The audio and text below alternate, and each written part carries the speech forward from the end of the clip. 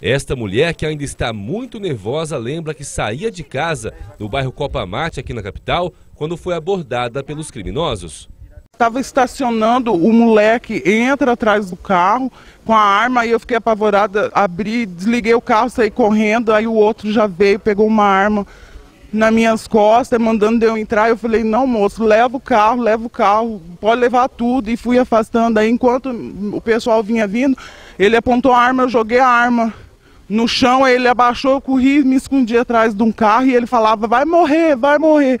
Um deles chegou a disparar contra as pessoas na rua. Deu tiro no, na, nos vizinhos. Olha, a minha indignação está aqui. Menor de 16 anos tem que ir para cadeia, tem que responder. Depois que este carro foi furtado, os assaltantes passaram perto do comandante do 10 Batalhão de Polícia Militar, que notou a atitude suspeita e então consultou a placa do carro no sistema da polícia. Pelo comandante que estava de folga, é, passou esse veículo, esse Gol preto.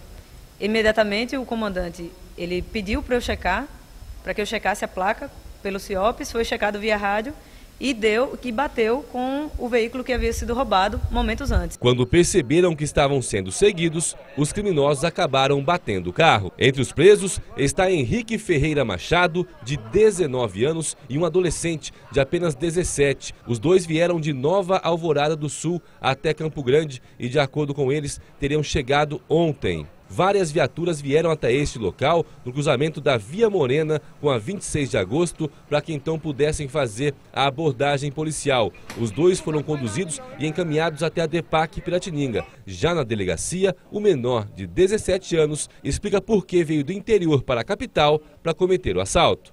Eu trabalhava por... Trabalhava de quê? Trabalho de marmoria, na marmoria. Marmoria? E aí você veio fazer o que aqui? Eu vi um monte de dinheiro que foi mandado embora, eu tinha que pagar ele. Com os dois, a polícia apreendeu duas armas, dois revólveres calibre 32 com munições. Perceba que uma delas está deflagrada. Também foram recuperados objetos da vítima que estavam dentro do veículo. A ação contou com policiais do 1 e do 10 Batalhões de Polícia Militar. A gente trabalha, a gente estuda para ser alguém, aí vem esses marginal. Um tem 15 anos. Esse vagabundo, já estou sabendo, vai estar na rua amanhã.